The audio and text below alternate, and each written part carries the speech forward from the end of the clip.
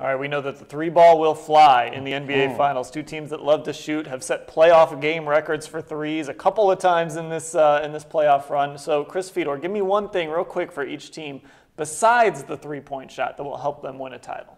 I think for the Cavs, it's rebounding. It's got to be rebounding. That's one of the things that Oklahoma City did so well to get up to that 3 1 series lead in the Western Conference Finals. Steven Adams was one of the best players in that series for the first four games.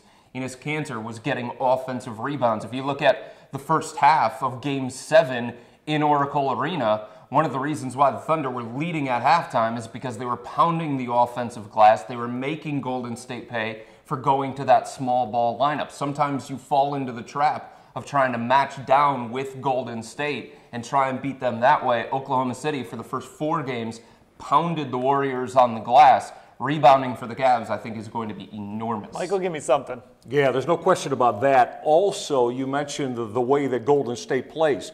I hope you've been paying attention throughout their playoff run. There have been many nights they get very sloppy and haphazard with the basketball mm-hmm. in the half court Yep. or when Draymond Green's trying to push it.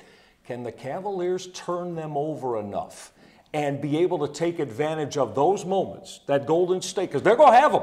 They're going. They've had games of up near 20 turnovers per game in these playoffs, and if the Cavaliers could take advantage of that, get on the glass and run downhill at them, and turn those turnovers into points on runouts, it's going to go a long way to Cavalier success. You got something? Drop it in the comments. We want to see it.